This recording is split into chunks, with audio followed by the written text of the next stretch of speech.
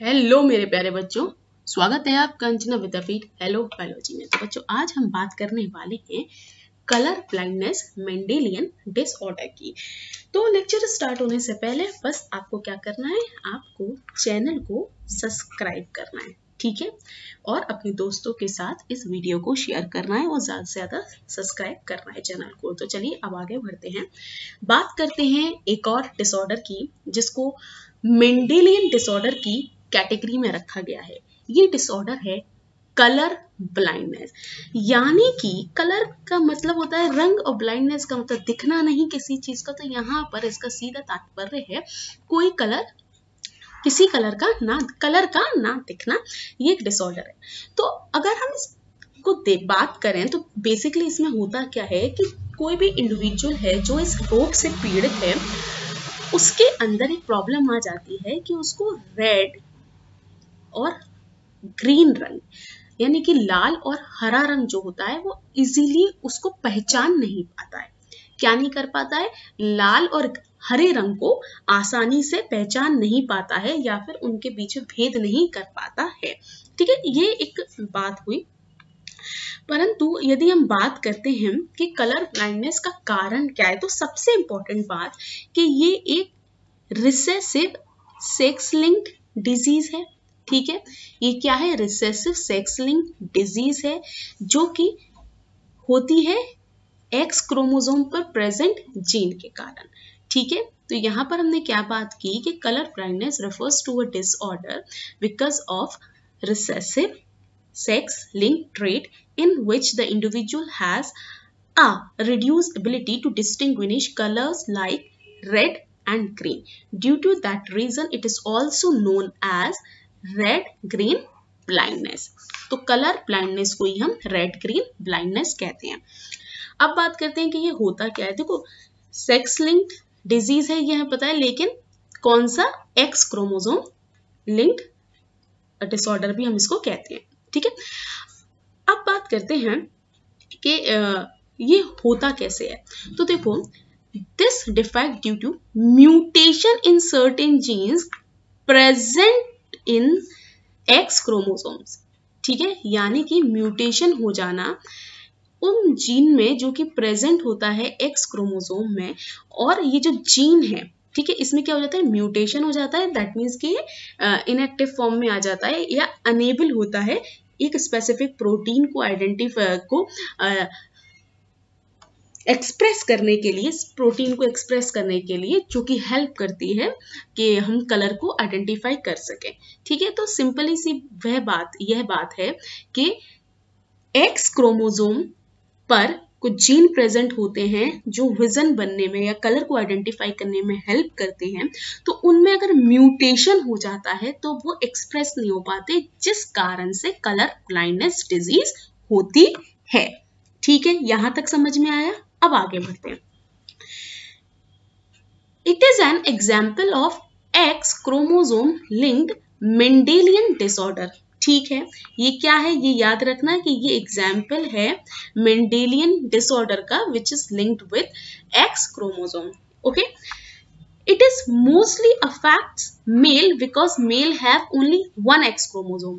ये बात हमेशा ध्यान रखना कि चाहे वो हीमोफीलिया हो या फिर वो कलर ब्लाइंडनेस हो, यानी कि जितने भी डिसऑर्डर्स हैं जो कि लिंक्ड हैं एक्स क्रोमोसोम से, वो ज़्यादातर मेल में ही अफेक्टेड होते हैं। यानी कि मेल में ही उसका फेनोटाइप हमें देखने को मिलता है। क्यों? क्योंकि मेल के पास सिर्फ़ एक एक्स क्रोमोजोम होता है, जबकि फीमेल के पास दो एक्स क्रोमोजोम होते हैं।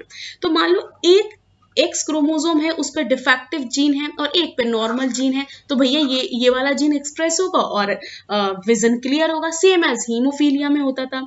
तो अब इस कंडीशन को हम की कंडीशन जो है कि, क्योंकि ये एक मेंडेलियन डिसऑर्डर है, एक जेनेटिक डिसऑर्डर है, ये किस तरीके से माता पिता से उनकी संतानों में जाता है, उसको हम डिस्कस करते हैं। यहाँ पर हमने तीन कंडीशन ली हैं। पहली कंडीशन जो है, वो ये है कि कलर ब्लाइंड विमेन है और उसका जो हस्बैंड है, वो नॉर्मल है। ठीक है? दूसरा कंडीशन है कलर ब्लाइंड मैन है और उसकी जो वाइफ है, वो नॉर्मल है।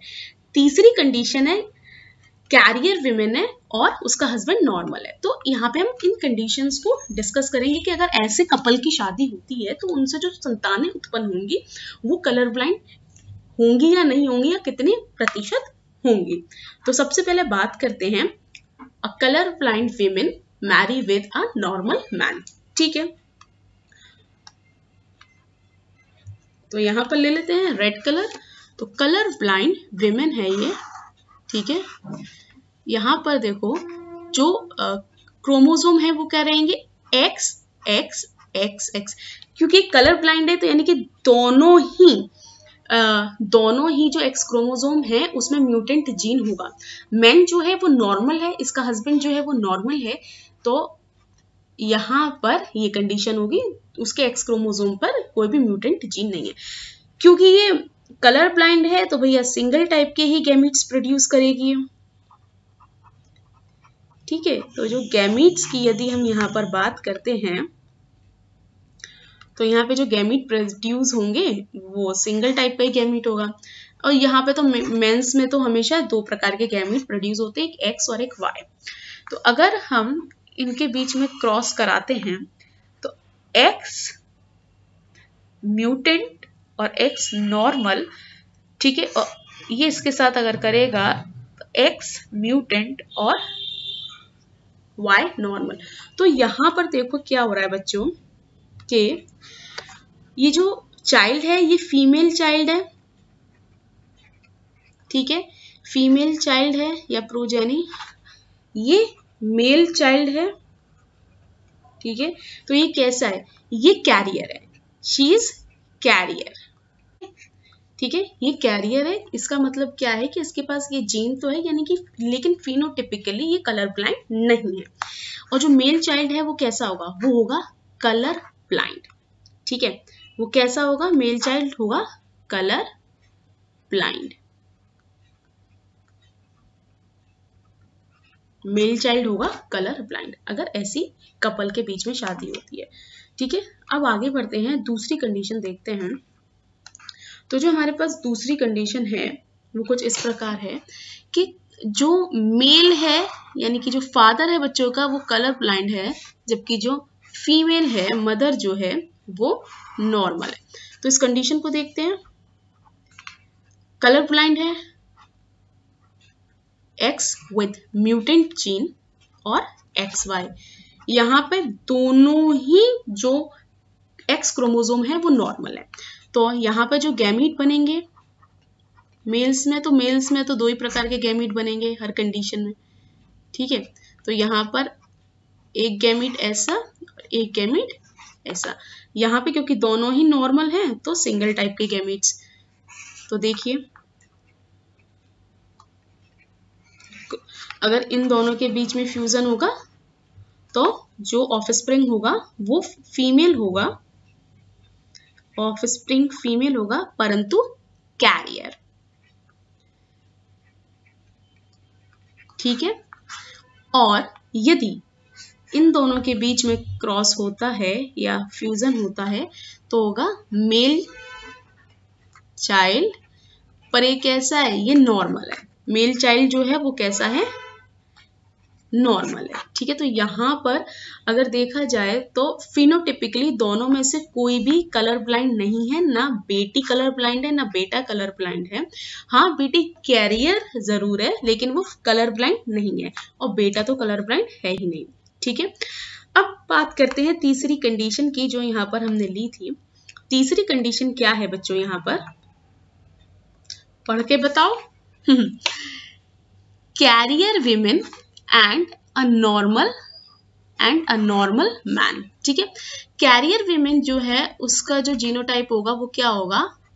X chromosome with mutant gene and normal X chromosome X Y ठीक है?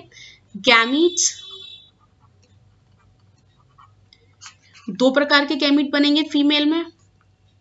एक गैमिट के पास होगा X chromosome with mutant gene और एक नॉर्मल। ठीक है? यहाँ पर भी देखो, मेल्स में तो हमेशा ही दो प्रकार के बनते हैं। कलर थोड़ा सा बदल लेते हैं यहाँ पे, ठीक है? तो यहाँ पर अगर ये वाला गैमिट इसके साथ फ्यूज होता है, देखो। एक कलर मजेदारी नहीं है इसमें।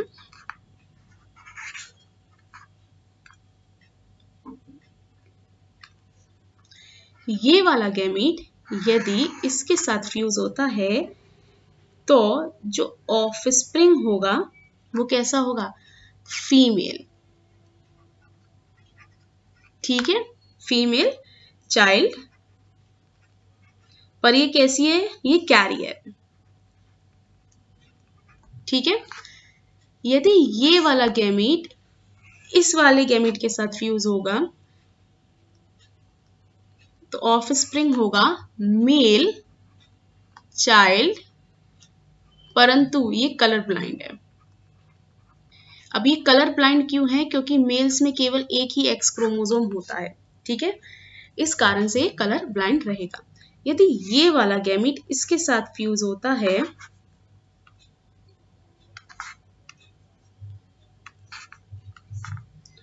ये गैमिट यदि इसके साथ फ्यूज होता है तो ऑफ़ स्प्रिंग होगा। फीमेल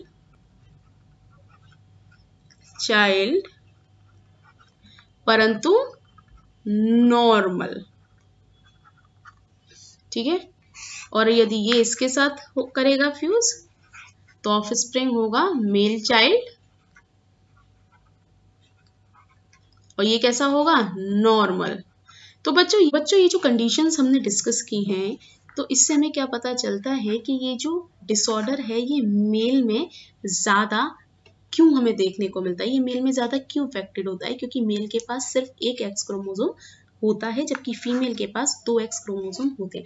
अगर फीमेल के दोनों सेक्स क्रोमोजोम्स में से किसी एक क्रोमोजोम में म्यूटेंट जीन है तो भी उनके अंदर वो लक्षण हमें नहीं देखने को मिलता है, जबकि मेल में देखने को मिलता है because male carries only one X chromosome. तो ये बात आपको ध्यान रखनी है।